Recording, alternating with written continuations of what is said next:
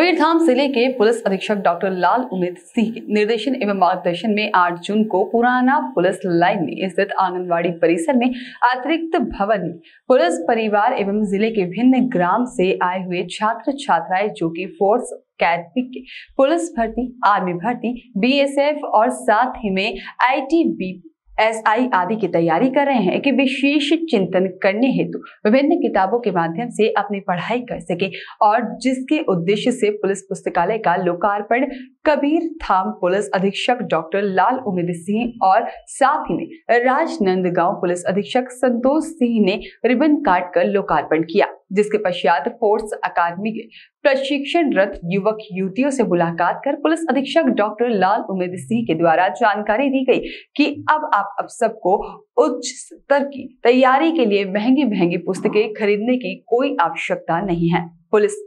पुस्तकालय में अनेकों प्रकार की प्रतियोगी परीक्षाओं की तैयारी के लिए पुस्तकें उपलब्ध हैं। और जिनका आप सब अधिक से अधिक लाभ लेकर उच्च स्तर की प्रतियोगी परीक्षाओं की तैयारी कर अपने लक्ष्य को पा सकते हैं। साथ ही राजनंद गाँव पुलिस अधीक्षक संतोष सिंह को आप सबको मोटिवेट करने तथा अपने अनुभवों को साझा करने के लिए मुख्य तौर पर आमंत्रित किया गया है, जिनसे आप सबको बहुत कुछ सीखने को मिलेगा। साथ ही जिसके पश्चात फोर्स अकेडमी के छात्र छात्राओं ने संतोष सिंह पुलिस अधीक्षक राजनंद गाँव का फूलों से स्वागत किया। और इस अवसर पर पुलिस विभाग के अधिकारियों सहित अधिक संख्या में फोर्स अकादमी के छात्र छात्राएँ तथा खिलाड़ी उपस्थित रहे।